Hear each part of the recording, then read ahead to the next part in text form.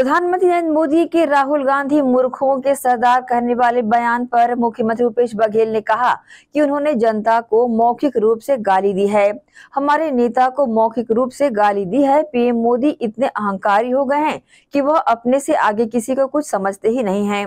ये अहंकार रावण का भी नहीं रहा तो मोदी का अहंकार कहाँ टिकेगा? असम के मुख्यमंत्री हिमांता बिस्वा शर्मा के बयान पर मुख्यमंत्री भूपेश बघेल ने कहा कि क्या शारदा चिटफंड घोटाले में हेमंत बिस्वा शर्मा को क्लीन चिट मिल गई? उन्हें ईडी का धन्यवाद देना चाहिए कि ईडी ने कार्रवाई नहीं की और वह सीएम बन सके। अगर उनमें साहस है तो उन्हें कार्रवाई करनी चाहिए। हमने उन्हें कार्रवाई करने से कभी नहीं रोका। हमने उनसे कहा है कि जाँच करो, लेकिन सही से जाँच करो। पहली बात तो ये है कि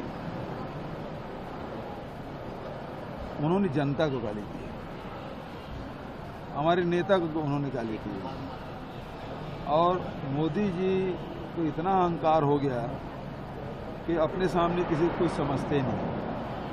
और ये अहंकार रावण का नहीं रहा तो मोदी का ही अहंकार कहाँ टिकेगा हेमंता विश्व शर्मा शारदा चिट फंड में घोटाला में क्या उसको क्लीन चिट मिल गई शुक्रिया वो अदा करें, जिसके कारण से वो कार्रवाई नहीं के कारण से उसको मुख्यमंत्री बने। इनकी हिम्मत है तो कार्रवाई करें ना। हमने कहाँ रोका?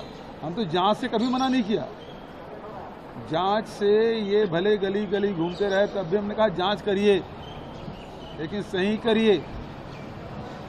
ये हाँ अच्छा ये बताया, वो विधायक खरीदने में कितना लगता है? यहाँ मौका नहीं मिलेगा उसका, पैसा बचेगा